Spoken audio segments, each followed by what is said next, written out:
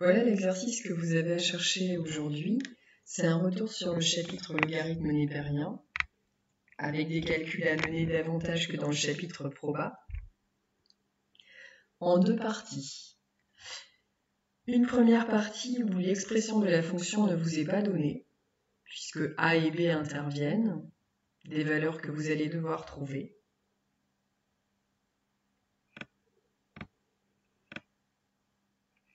Donc dans la partie A, vous avez à enfin vous avez plutôt à donner des nombres dérivés,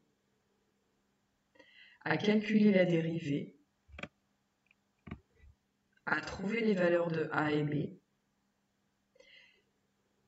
Et la partie B est indépendante de la partie A dans le sens où on vous donne dans la partie B l'expression de la fonction. Donc c'est bien en lien avec ce qui est précédemment écrit. Sauf que dans l'expression ici, le petit a et le petit b ont été remplacés par leur valeur. Et dans cette partie b, à partir de l'expression de cette fonction, vous avez à calculer la dérivée et à montrer qu'elle peut s'écrire sous cette forme. Vous avez à revenir sur l'équation réduite d'une tangente. Pour cela, vous avez une formule. Vous avez à étudier le signe de la dérivée puis dresser le tableau de variation, donc ça c'est une question classique.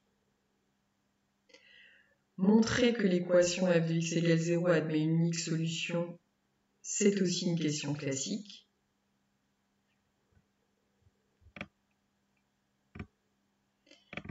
Question 5.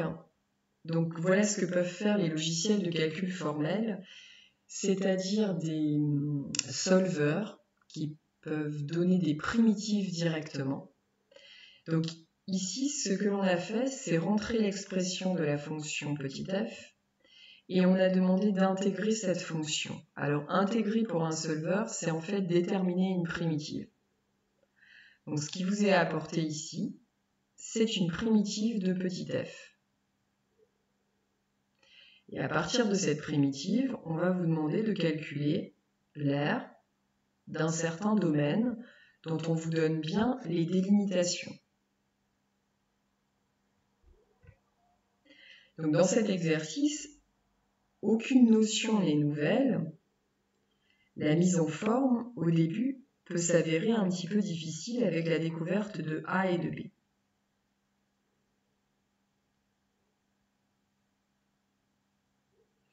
Donc moi, je vous ai demandé de regarder ce tuto pour vous donner des idées pour faire la question 3 de la partie A.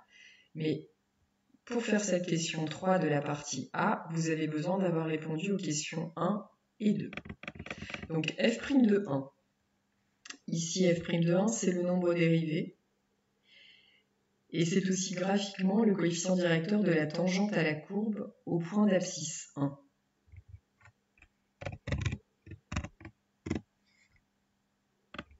F' de 1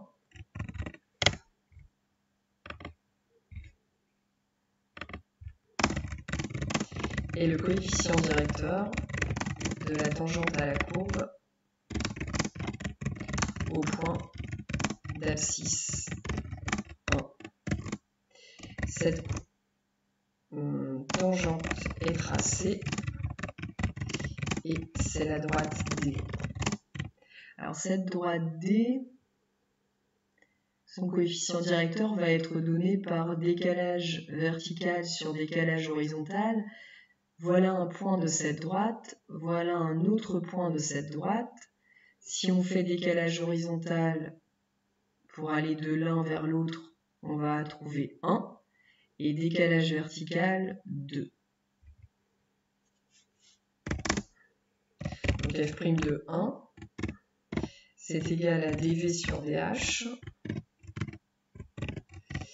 Et ce dv sur dh va nous donner 2 sur 1, c'est-à-dire 2. Ensuite, vous avez à faire f' de 3. Alors f' de 3, il y a moins de calculs, puisque f' de 3 c'est aussi un coefficient directeur de tangente au point d'abscisse 3, mais vous avez sans doute remarqué que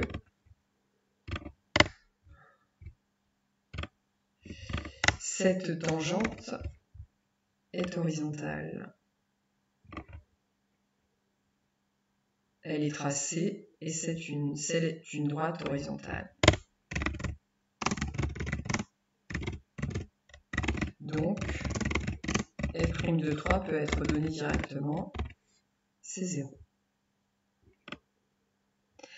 Petit 2f' de x, je ne sais pas si vous vous souvenez, vous avez déjà calculé, alors non pas pour cette fonction, mais je vous avais demandé de dériver une fonction où des paramètres a et b intervenaient. C'était pour préparer cet exercice-là. Donc ici, f de x est donné par l'expression ax plus 2 plus b ln de x.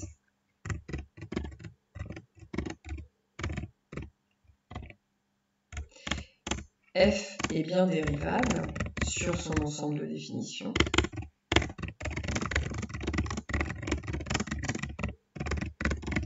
comme somme de fonctions dérivables.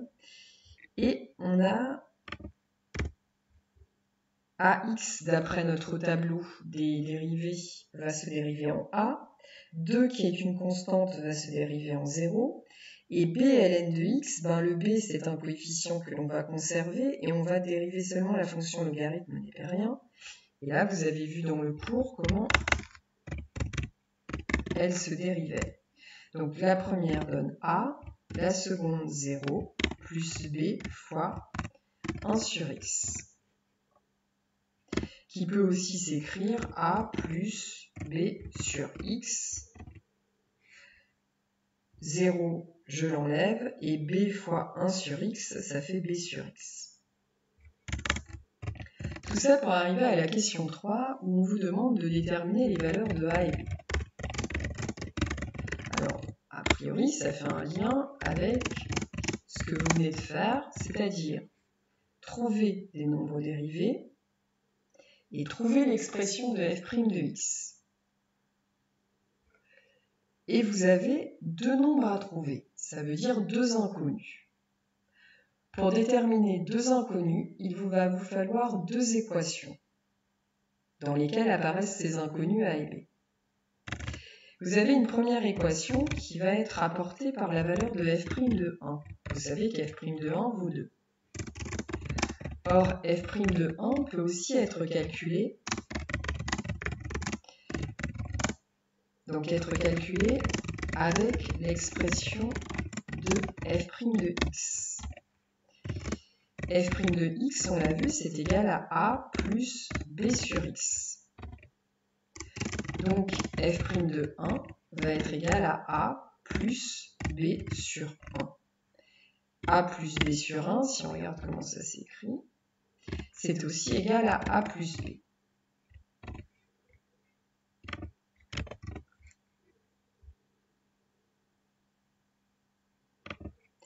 Je change un petit peu la disposition de ma feuille. Voilà. Donc vous avez f' de 1 d'un côté qui vaut 2. Et vous avez également f' de 1 qui vaut ça, a plus b. On en déduit l'équation a plus b égale à 2. Deux expressions pour f' de 1, puisqu'il n'y a qu'une seule valeur pour f' de 1, ça veut dire que nos deux expressions sont égales. Ce que l'on a fait là pour f' de 1, on va le refaire pour f' de 3. Nous, f' de 3, il vaut 0.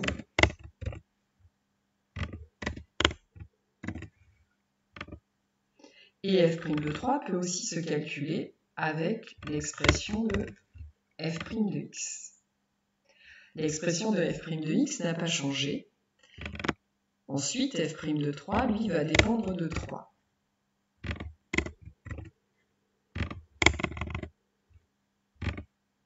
f' de 3, ce sera a plus b sur 3. Ces deux ces deux expressions vont être égales. Vous allez donc avoir une équation de la forme a plus b sur 3 égale à 0. On a donc une équation a plus b sur 3 égale à 0 et on a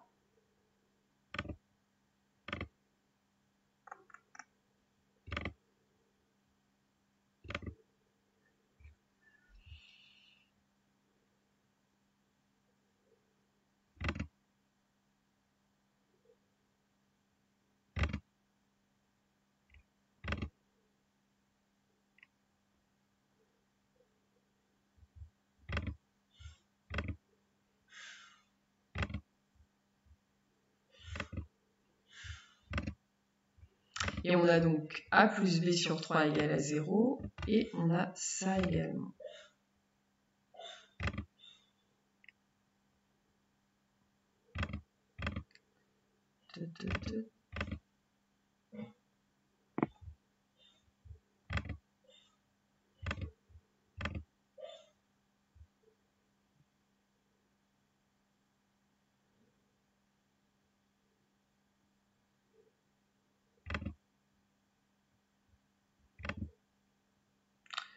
Alors je sais plus comment j'ai fait.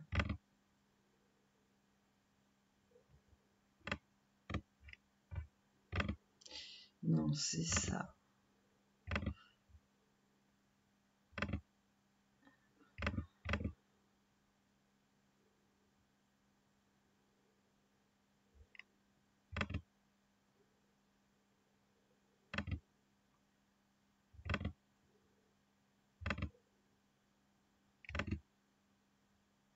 Bon, je perds du temps. Euh, et je vous en fais perdre. A plus B égale à 2. A plus B sur 3 égale à 0. C'était seulement pour me les mettre en couleur. Donc ce que je vais faire...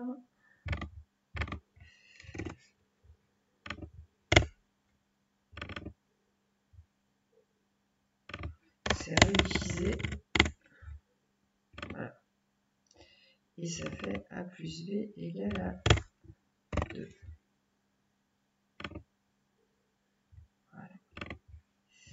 Donc voilà les deux équations que l'on obtient finalement.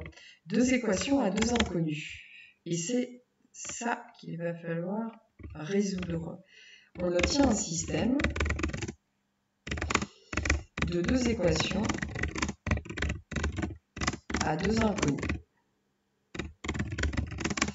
Donc on a a plus b sur a plus b égale à 2 et on a a plus b sur 3 égale à 0.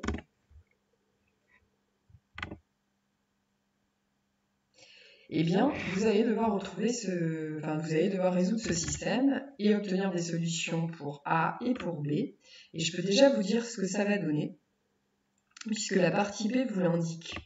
Le A, c'est le coefficient devant x, et on peut voir là que c'est moins 1.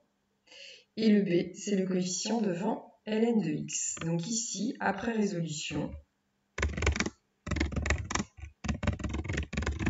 on doit trouver a égale à moins 1 et alors excusez-moi.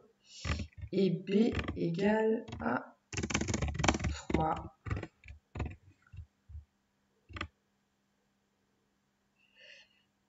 Donc je vous laisse résoudre. La partie B. Alors la partie B montrait que montrer que f' de x égale à ça, vous allez devoir dériver la fonction petit f. Vous n'allez pas obtenir directement sous cette forme de quotient. Vous allez obtenir une fonction dérivée qui va se présenter sous la forme d'une somme et vous allez devoir choisir un dénominateur commun, transformer l'expression pour obtenir un quotient. Alors je vais le faire. Donc moins x plus 2 plus 3 ln de x.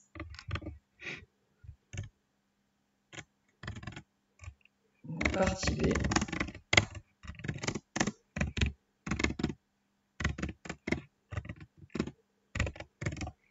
Vous, vous l'avez peut-être fait aussi.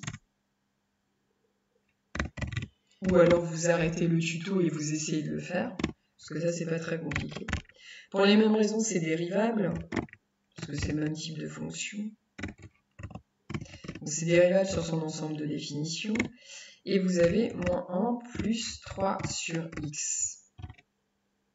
La différence avec l'expression qui vous est proposée, c'est donc le fait qu'on a rassemblé, on a écrit sous la forme d'un même quotient. Donc ce qui s'est passé, c'est qu'on a transformé moins 1 en moins x sur x. Et puis la deuxième, le deuxième terme, par contre, est resté identique. On a multiplié en haut et en bas par x, c'est-à-dire on a multiplié numérateur et dénominateur par x. Donc moins 1, c'est la même chose que moins 1 sur 1. Et c'est la même chose que moins x sur x. Avec bien sûr un ensemble de définitions qui est celui-là, 0,510. Nous n'avons pas de valeur interdite ici. Hein. Je rappelle, l'ensemble de définitions ne contient pas de valeur négative ou ne contient pas 0. On n'a pas de problème. Et moins x plus 3 si jamais on rassemble sur x, ce qui est bien l'expression attendue.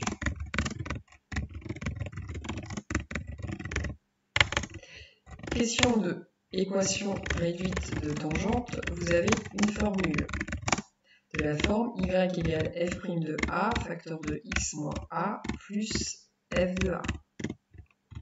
Là, j'en dis pas plus. Vous aurez ensuite une correction euh, qui vous sera donnée en version papier, en plus de ce tuto. Question 3, étude du signe de f' de x. Donc là, vous allez devoir manipuler cette expression. Vous allez avoir un tableau qui va comporter plusieurs lignes. N'oubliez pas que pour la première, vous devez vous référer à l'ensemble de définitions. Ensuite, vous devez donner le signe de moins x plus 3, le signe de x, puis faire le quotient pour avoir le signe de f' de x. Vous en déduirez les variations de f. Question 4. Montrer que l'équation admet une unique solution. Ça, c'est une question classique. Question 5.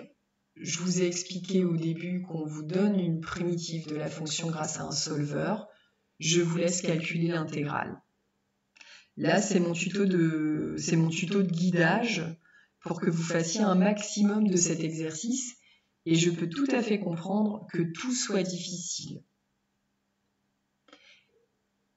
Il faut quand même essayer. C'est-à-dire essayer au moins de faire quelques questions celles qui vous apparaissent faisables, et puis ben, ensuite vous allez corriger avec la correction PDF que je vous enverrai également. Bon courage à vous. Au revoir.